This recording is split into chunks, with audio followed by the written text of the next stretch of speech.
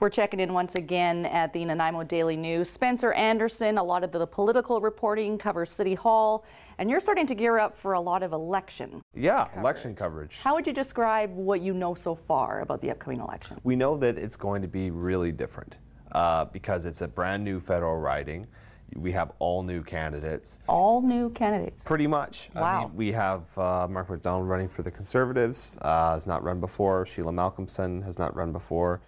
Uh, we have uh, a new Green candidate as well, uh, a new Liberal candidate, Paul Manly and Tim Tessier, respectively. So new dynamics uh, at a federal level as well. So I think lots of interesting things happening here. And it's a longer campaign, one of the longest in history. So that's yeah. something new as well. It is a very long campaign. I think it's the longest since the 1800s when there was no internet certainly and no phone service and it took weeks for election results to get across the country. So this is a very long federal campaign. Do you think that's an advantage for, for, for a reporter and therefore the, the general public because you have more time to get in and know the candidates and know the issues? So, so. Or are you just sort of out of the gate just as fast as, as ever? I guess it's, I mean, we, we always gear our coverage to things that are happening. So the fact that it's a longer campaign, there's more opportunity for coverage, obviously, of the candidates. Mm -hmm. um, and I suppose more opportunity for interesting things to happen on the campaign trail.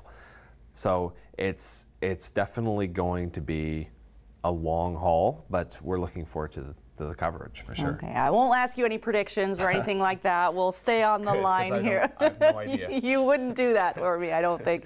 Um, one of the things you wanted to talk about, we always touch base and say, well, what are we going to touch on today? And and you mentioned Colliery Dams. Sure. Uh, there's a lot of activity that's going to start taking place there yeah. as of September the 1st, and the issue still isn't at rest. It's well, been going on for three years.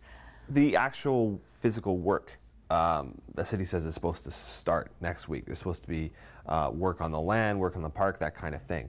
So uh, at the same time, there's also uh, some members of the public saying that they're going to be protesting this uh, physically in the park. So we'll see what happens. But this is an interesting development just insofar as for the first time in almost three years, is actually going to be something um, physically uh, happening in terms of a, a, project at that park. You think we're going to get people chaining themselves to trees and that type of protest? We'll cover it if it happens. Always exciting coverage. I, no idea. We'll see what happens. okay, and uh, Spencer's a big yeah. tweeter. Uh, you can follow him and communicate with him. Spencer under no Anderson underscore Spence. Yeah, at Anderson underscore Spence. At yeah. Anderson underscore Spence, and you're and at, at Nanaimo Daily too. We tweet from there a lot as well. Excellent. Okay, this is another installment of Behind the Read. We'll be back next week with something else from the newspaper. Thanks. Hi, I'm Crystal Dennison, Executive Director of the Nanaimo Ladysmith Schools Foundation, and we're right in the middle of our Stock the Lockers campaign.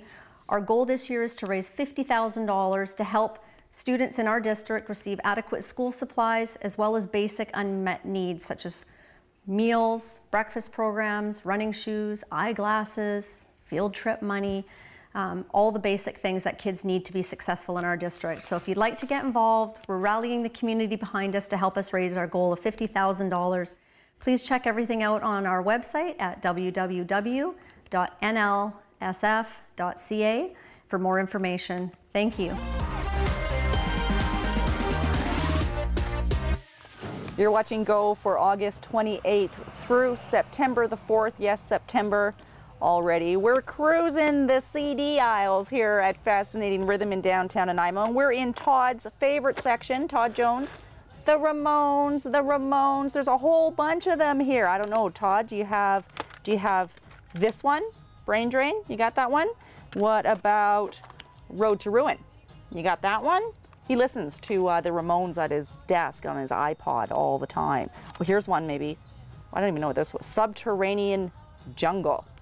And maybe this is uh, for his birthday present. We're out of here. Yeah? Should we do that one? Okay, well, maybe while we decide if we want to get this for Todd Jones, we're going to put him to work because, as promised, here's Clocked.